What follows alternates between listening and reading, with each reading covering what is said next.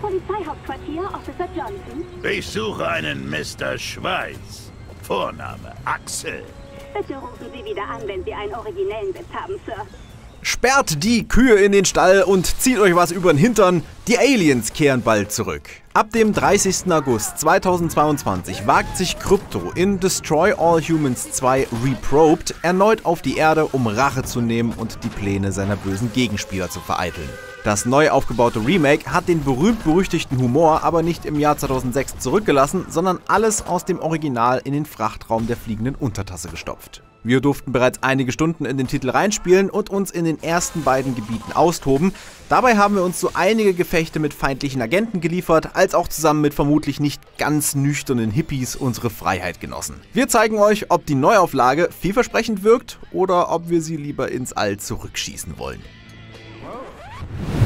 Oberster Genosse Milenkov, Genosse Agenten, danke für euer Kommen. Das Spiel orientiert sich stark am Original, weshalb ihr es genau wie früher mit einem anderen Protagonisten als im Vorgänger zu tun bekommt. Naja, so ganz stimmt das ja eigentlich nicht, denn irgendwie handelt es sich ja trotzdem noch um Krypto. Der ist allerdings aus nicht näher genannten Gründen ums Leben gekommen. Also seid ihr nun als sein Klon und Nachfolger unterwegs. Mit der Hilfe von Pox hat er das Weiße Haus infiltriert und sich kurzerhand zum Präsidenten von Amerika gemacht. Der Körperfresserfähigkeit sei Dank, mit der er den eigentlichen Chef unter seine Kontrolle gebracht hat. Cryptosporidium 138, wie er mit vollem Namen heißt, kann nämlich die Körper von unschuldigen Menschen kapern und sich so als einer von ihnen ausgeben.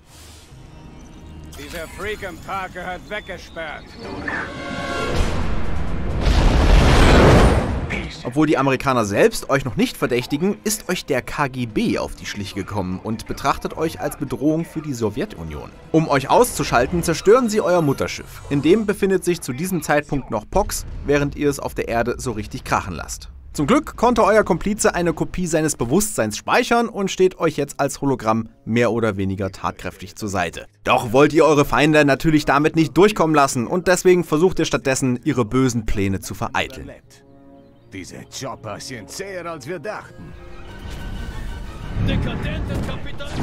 Vor euch und euren übernatürlichen Waffen ist niemand sicher. Bevor das Mutterschiff zerstört wurde, sind einige Datenkerne mit praktischer Ausrüstung rausgefallen und die sind jetzt in der gesamten Spielwelt verstreut. Eure Gegner müssen sich auf Elektroschocks, Feuerschaden oder hinterlistige Attacken mit der Analsonde einstellen. Denn ja, die dubiose Waffe, mit der ihr euren nichtsahnenden Opfern das Hirn zum Hintern rauszieht, ist natürlich wieder am Start. Chaos lässt sich auch wunderbar mit eurem UFO stiften. Laserangriffe und ein Entführungsstrahl machen euch zu klassischen Außerirdischen, die Menschen verschleppen und die Welt ins Verderben stürzen wollen. Als Präsident der USA oder zumindest als Marionettenpräsident liegt euch vor allem die DNS der Menschheit am Herzen. Die braucht ihr zum Verbessern eurer Fähigkeiten sowie eurer Ausrüstung und lässt sich mit der richtigen Waffe ganz einfach klauen. Immerhin brauchen diese niederen Lebewesen sie doch eigentlich gar nicht. Oder zumindest benötigt ihr sie jetzt dringender. Mit genügend Feierlaune lassen sich die Passanten ins Partyfieber versetzen und kriegen nichts mehr um sich herum mit. Das ist vor allem dann nützlich, wenn ihr unerwünschte Aufmerksamkeit erregt habt oder möglichst unauffällig vorgehen wollt. Wenn sie euch in eurer Alien-Gestalt sehen, steigert sich eure Alarmstufe und die Polizisten eröffnen das Feuer. Dann bleibt euch nichts anderes übrig, als den Leuten eine Gehirnwäsche zu verpassen oder den Rückzug anzutreten. Immerhin seid ihr der erste Furon mit Genitalien und die müsst ihr doch unter allen Umständen beschützen. Die unterschiedlichen Gesuchtstufen scheinen aber keine langfristigen Konsequenzen zu haben, sondern nur für den Moment zu gelten. Dass die Menschen beim Anblick von Außerirdischen schreiend davonrennen und direkt die Polizei alarmieren, macht eure Mission ziemlich schwer. Geballer ist also nicht immer das Mittel der Wahl. Manchmal müsst ihr unauffällig vorgehen und euch die unscheinbaren menschlichen Passanten zunutze machen. Generell gibt es sowohl Missionen, in denen Gewalt keine Lösung ist, als auch welche, in denen sie das sehr wohl ist. Wenn es nach Krypto geht, lassen sich Probleme ohnehin schneller bewältigen, wenn er etwas, naja, überzeugender wird. Da müsst ihr je nach Situation beurteilen, was sich gerade besser eignet. Insgesamt hatten wir aber deutlich mehr Spaß, wenn wir den Zappomatic oder den Dislokator zum Einsatz bringen durften, als uns durch irgendwelche Sperrgebiete zu schleichen. Trotzdem ist es gut, dass euer UFO eine Tarnfunktion besitzt, damit ihr nicht gleich die ganze Stadt in Angst und Schrecken versetzt. In den ersten Spielstunden haben wir mehrere Landeplätze entdeckt, die uns einiges an Fußweg erspart haben. Direkt dahin teleportieren konnten wir uns nicht und waren daher auf einen Platz in der Nähe unseres Ziels angewiesen. Praktisch ist es aber trotzdem. Außerdem könnt ihr mit der fliegenden Untertasse in andere Gebiete reisen, Upgrades freischalten oder dem anzüglichen Alien andere Skins verpassen. Ein Blick in das Raumschiff dürft ihr allerdings nicht werfen. Die Optionen wählt ihr bloß über ein Menü aus. Auch das Reisen von einem großen Gebiet ins nächste führt euch leider nicht durch den Luftraum, sondern nur über einen Ladebildschirm. Auf den ersten Blick scheint die spielerische Umsetzung gut gelungen zu sein. Im Gefecht lässt es sich leicht zwischen den verschiedenen Waffen und Fähigkeiten wechseln, wodurch wir die unterschiedliche Ausrüstung auch wirklich genutzt haben.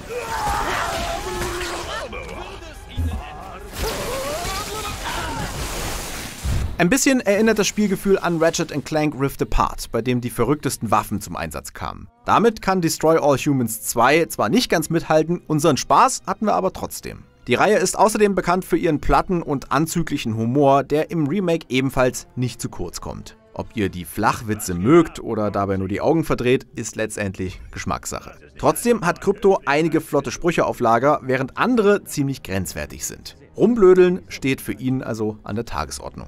Über welche Art von Unfug reden wir hier? Weil, wenn sie sagt, dass sie 18 ist, kannst du sie ja nicht einfach eine Lügnerin nennen. Das Original stammt aus dem Jahr 2006 und arbeitet mit einigen Klischees und Anspielungen, die wir in einem aktuellen Spiel nicht mehr erwarten würden. Eure freizügige Gefährtin Natalia, die der Protagonist bei jeder sich bietenden Gelegenheit anbaggert, ist da leider keine Ausnahme. Das Spiel nimmt sich insgesamt selbst nicht allzu ernst, weshalb wir vieles als Ironie verstanden haben und uns ein Spunzeln nicht verkneifen konnten.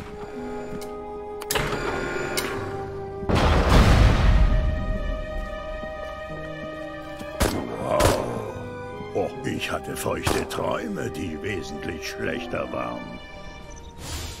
Trotzdem wirft der Titel auch mit wirklich schlechten Witzen um sich. Wenn wir einen Scherzanruf bei der Polizei machen und nach einem Herrn Axel Schweiß fragen, dann sorgt das nicht mal für ein müdes Lächeln. Unverblümte Aussagen von zugedröhnten Hippies oder die geheimsten Gedanken der Passanten waren aber dann doch unterhaltsam. Unser Fazit dazu muss man halt mögen. Wem die Spiele damals schon zu platt waren, der wird auch im neuen Gewand nicht anders von ihnen denken. Wenn ihr aber Lust auf diese Art der Unterhaltung habt, wird das Remake genau diese Erwartungen erfüllen. Mit Black Forest Games ist hier das gleiche Studio am Werk, das 2020 schon den ersten Teil der Reihe neu aufgelegt hat. So dürft ihr euch im Sommer auf den aktuellen Konsolen und PCs in das abgedrehte Abenteuer stürzen. Die Spielwelt wurde dafür von Grund auf in der Unreal Engine 4 neu aufgebaut. Von der Neuauflage profitiert deshalb vor allem die Grafik, die sich echt sehen lassen kann. Optische Wunderwerke wie bei einem Horizon Forbidden West gibt es jetzt zwar nicht, dafür überzeugt der comichafte Stil. Ein Änderungswunsch hätten wir allerdings gehabt, wenn das Studio schon das ganze Spiel für Krypto und die Furonen nachbaut, wären ein paar zusätzliche Charaktermodelle schön gewesen. Wie im Original begegnet ihr bei einem Rundgang durch die Stadt an jeder Ecke den gleichen Erdlingen. Die Wahl eines Körpers fällt besonders leicht, wenn es gar nicht erst viel Auswahl gibt. Da sich das Entwicklerstudio möglichst detailgetreu an die Vorlage halten wollte, können wir diese Entscheidung aber nachvollziehen.